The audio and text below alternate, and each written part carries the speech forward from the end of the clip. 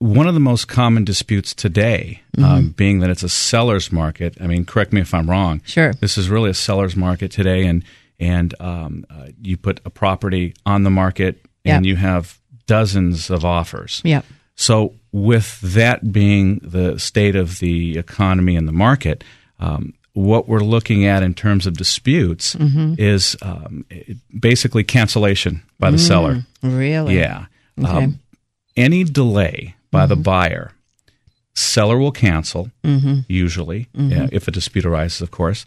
And the seller will then list the property right away, sell it to another buyer Mm-hmm. at a higher price. Mm. So buyers need to really beware Mm-hmm. of um, deadlines, and uh, their agent, of course, needs to be um, right on top of it. Yeah. So I'm seeing that a lot these days, and the from a legal aspect and the lawsuit that usually arises that's mm-hmm. coming back mm-hmm. is the specific performance lawsuit. Mm-hmm.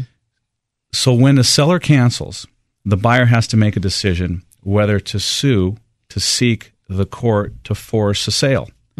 And back in 2005 and 6, I handled a lot of those because the market was going up. Um, buyers were buying property um, equity over a period of 30 days during the escrow period. There was extra equity in there from the from the original purchase price. Yeah. So buyers were willing and investors were willing to sue sellers uh, to force the sale. And that usually then, once a lawsuit was filed, quick action was filed once the seller canceled.